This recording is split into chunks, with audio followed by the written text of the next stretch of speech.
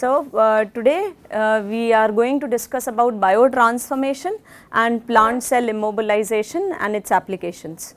So, starting with biotransformation, what is biotransformation to you? Biotransformation is done using any living organism. You must have already read about it. So, what is biotransformation? How is it different from uh, de novo production using bioprocesses? So, majorly what kind of conversions come under biotransformation? De novo synthesis, I, the question was how it is different from de novo synthesis. What is de novo synthesis?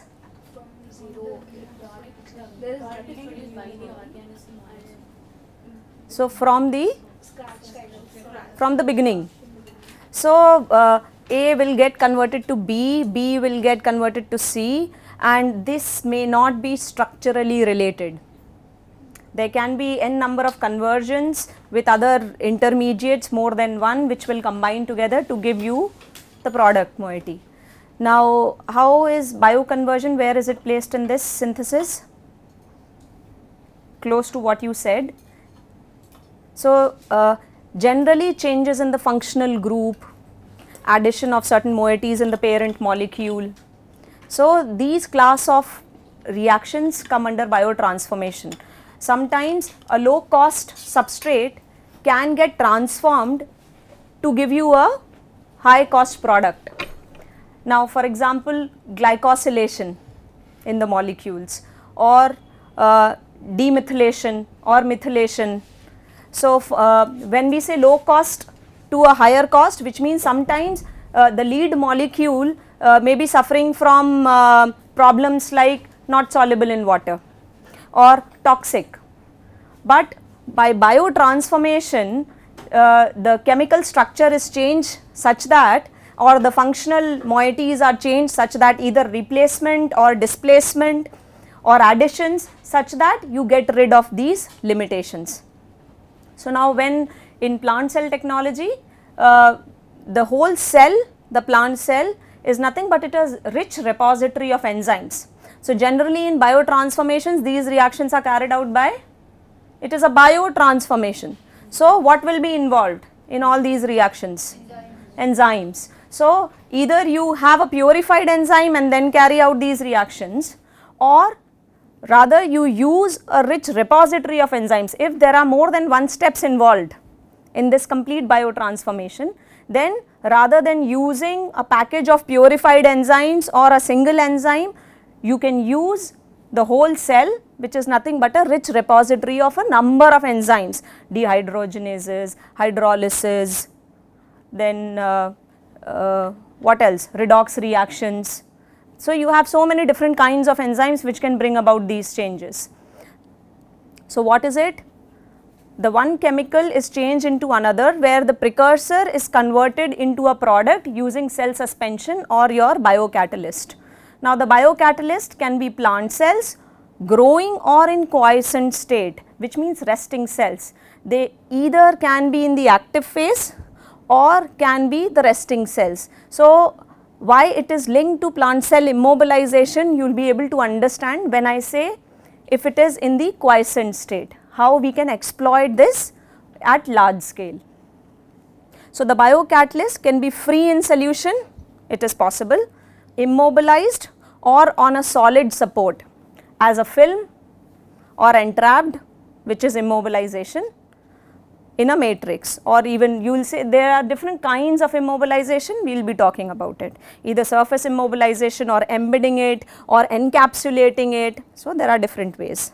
So, again reiterating what is biotransformation? Biotransformation is a process through which the functional groups of organic compounds are modified by the living organisms.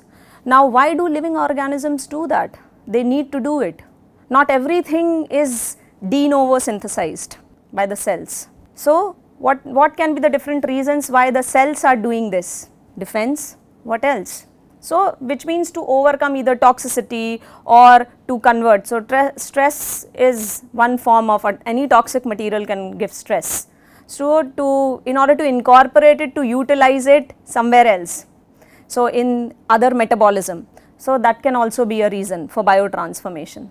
So, factors such as difficulty of maintaining culture sterility, slow growth rate etc. in plant cell cultures cannot compete with microbial systems for same biotransformation processes. So, we know the limitations of plant cell cultures because they are slow growing and what else? One is slow growing, other but can be a disadvantage. Okay. At large scale imagine heterogeneity means scale up can be an issue. They generally at high cell densities they will become non-Newtonian behavior so, the scale up becomes limited. So, then how, how high cell density can be obtained and in the same process you need to utilize them for biotransformation which can be cell immobilization. You can still have higher cell density, but you can avoid its in comparison to microbes its shear sensitivity which can be a problem when you are using free cells and mass transfer limitations because they tend to aggregate together. The cell to cell contact is high that can be a problem. Now what is a key here? Whatever process you use for biotransformation the substrate has to be made available to the cell. So which means that the substrate has to enter into the cell, get biotransformed into the product and the product should be able to come out in the solution. So, that is a prerequisite. Now, the substrate must be therefore because it has to be taken in converted, it is not necessary that all time the substrate will be taken in. In detoxification reactions, maybe there can be enzymes which can be exuded which are used in biotransforming the toxic metabolite into a non-toxic form. So, but generally in case of multiple step biotransformation reactions, the precursor moiety is to be taken in by the cell and then biotransformed into the final product. Now, what is key there?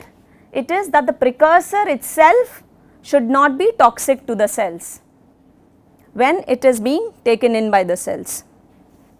Sometimes what happens you will see that some of the precursors when they are produced intracellularly they are not toxic or the same precursors when given exogenously are toxic. So, how is that possible? The cells do not die because we know that in that biosynthetic pathway that precursor is getting formed, but if you will add that precursor exogenously they become toxic to the cells. So, how is the cell then in synthesizing and managing? Very nice. So, there are enzymes. So, this is also a class of biotransformation to prevent itself from the toxic effect of that metabolite. So, it is formed and either it is biotransformed to make it to detoxify it or it is and then it is stored at a suitable position with the enzyme nearby so that when the need arises the enzyme can convert it into the required metabolite. What other prerequisite? The rate of product formation must significantly exceed the rate of further metabolism, then only it is advantageous. If you want a desired biotransformation reaction to happen, then the rate of formation has to be more than the rate of its subsequent metabolism. If the cell does not need it, it has to be metabolized then uh, or it has to be leached out. So, the rate of transfer of the product outside then becomes more limiting than the rate of biotransformation for the success of such process or its further metabolism rate. Now, what are the advantages of advantages of biotransformations over chemical transformations? What are the advantages? This is this you must have already read when we use enzymes. How are enzymatic because these are enzymatic reactions. So, how are enzymatic reactions in what way they are better than chemical reactions? So, high specificity means what? There is stereospecificity, what else? There is regiospecificity. I hope you understand. So, enzymes give you the leverage. Enzymes provide you stereospecificity and regiospecificity. And at the same time milder conditions, lesser toxic byproducts. So, they are more environmental friendly processes wide range of biotransformation reactions can be carried out using plant cells as repositories or plant cell enzymes uh, as biotransformants, but here we are talking about plant cell as it is as repository of enzymes. So, what kind of reactions? For example, glycosylation, glucosyl esterification, hydroxylation, oxidoreduction between alcohols and carbonyl compounds, then reduction of carbon double bonds, saturation unsaturation, then hydrolysis, isomerizations. Sometimes for example, I, I must have also talked about vitamin E alpha tocopherol during my earlier discussions. So, tocopherols in nature they exist in four different isomeric forms. So, these are alpha, beta, delta, gamma. So, there are four different forms, but the most bioactive form which is preferentially absorbed by humans and is used in your vitamin E capsules or in cosmetics where the price rises the minute it is added. So, oh, that is alpha tocopherol. Now, therefore, when you use plant cells versus chemical synthesis, then plant cells can produce the natural form of alpha tocopherol, where the chemical synthesis leads into a racemic mixture. Even methylation, demethylation, dehydrogenation, all these reactions also come under biotransformations. Now, glucose conjugations of exogenously added substances are considered to be detoxification reactions generally. So, if uh, glycosylation is needed, so then glucose moiety addition is needed, then plant cells can be used as biotransformants. The terpenoids and cholesterols which are hydrophobic may disturb the membranes of the cells and organelles when the molecules are taken in the cell directly. So, they may cause generation of reactive oxygen species in the cell. So, therefore, when these kind of products or substrates are given, then the cell would glycosylate it or add the glucose moiety to detoxify. If the substrates are non-toxic to the cells, the cells may not respond to them. So, what factors which will affect your biotransformation efficiency? Improvement of cell viability. So, you need to see at what stage the cell is, whether the resting cell is needed or whether you need the cells in the active phase. So, many substances may be harmful to the cell. So, it is necessary to decrease the toxicity in order to increase the yield of the product. For example, sugar could increase the cell viability via glycosylation of phenolic compounds. Now, selection of plant species, the capacity for biotransformation is very diverse in plant species where now culture age is also an important factor. What age of cells, what phase of cells you are using. Similarly, which means whether active cells or resting cells. Now, immobilization of plant cells, it has advantages. What all advantages? Reuse, it makes the process continuous. Reuse of the biological catalyst is possible. But what is the prerequisite here? The product must be excreted out. What kind of immobilization materials are known? PUF, PUF stands for any guess?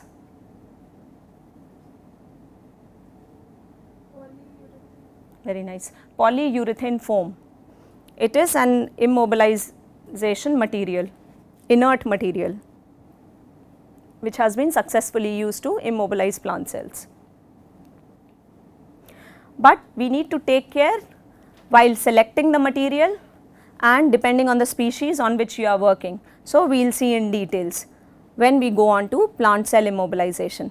Now, what are the factors uh, affecting biotransformation? For example, root cultures, they have been shown to have higher glycosylation activity than cell cultures. So, sometimes it also depends what kind of cultures you are using.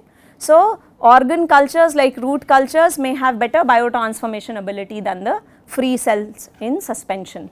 Now, for substrates which are hydrophobic and organic solvents like ethanol, detergents like Tween 80 are often used to solubilize the substrates for biotransformation. One of the, I said it is very important for the substrate to be readily available to the cell for uptake. Now, some of these substrates cannot be taken as it is by the cells maybe because of the toxicity. So, in order to facilitate its transport inside the cell, one of the molecules which is called as cyclodextrin, it is very commonly used to encapsulate the substrate and such that it can be, it forms a vesicle like structure which can be easily then taken in by the cell. So, cyclodextrin acts like a solubilizer for poorly water soluble substrates. Glucosylation of podophyllotoxin was facilitated after complexation with cyclodextrin.